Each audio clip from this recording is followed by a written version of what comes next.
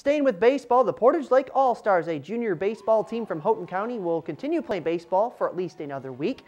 Portage Lake defeated the Marquette Junior All-Stars 17-4 Wednesday night to capture the District 11 championship crown. Portage Lake won the best of three series, two games to one over Marquette. Next up for the boys from Portage Lake, another tournament right here in the UP.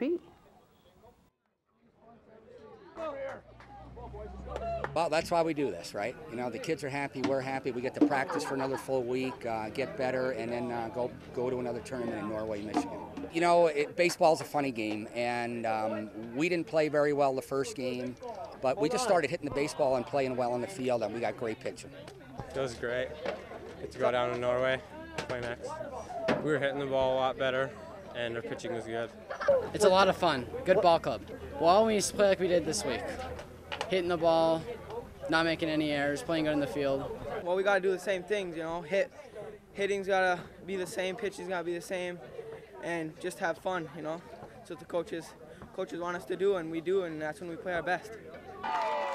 The 13-year-old players from Portage Lake have won four straight district titles dating back to 2010. Yeah, they're pretty good. The regional tournament in Norway starts next week.